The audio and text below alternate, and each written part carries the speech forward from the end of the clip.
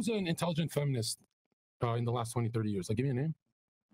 Yeah, Julie Bindel. Sure. So Plato talks about the sun and the moon being the male and the female principle, that the sun is active, gets the job done, and the moon, the lunar, is passive, right? It just nurtures the sun. Are you really comparing that dumb whore to Plato?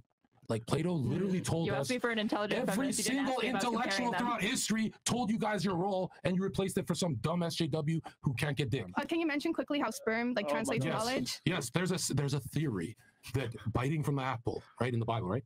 It's fucking a dude because there's an. Do, do you agree when you're orgasm when you have an orgasm you feel an electric electricity as your orgasm, right? Does everyone agree on with this? Mhm. Electricity, guys, when you're coming.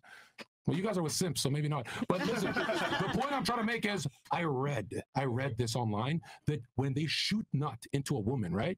They're actually transferring in that intimate moment, Life force. i- not just that, Knowledge. intellect. And so gay men who bite from an apple, they're not doing it with retard women. They're doing it with men. So they're becoming much more intelligent.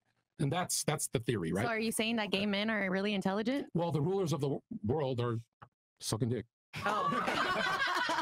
I mean, Hold on, hold on, hold on. Don't, don't, don't laugh. Historically, you're right, Pythagoras, right? Plato, Yeah. Napoleon, every single name, every single Yeah. president, and they all, none of them went to a church. They all went to a lodge or a temple called the Freemasonic Temple, and that's cooking. where they have homosexual rituals in Skull and Bones. Skull and Bones runs the world. These are the movers and shakers. Everyone in the Federal Reserve and the Treasury suck dick. I'm not trying to hurt the fucking podcast. You guys are stupid. I- Obama, Obama married a man, and and and, and, What do you mean and a genius, and a genius is very curious.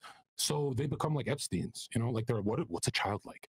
Like they're very curious about everything. Do you It's consider cooking. yourself a genius? You said you were very smart earlier. only when I'm sitting in front of you? Only when you're saying. Good comeback. bro. Yo, but I think there might be some troll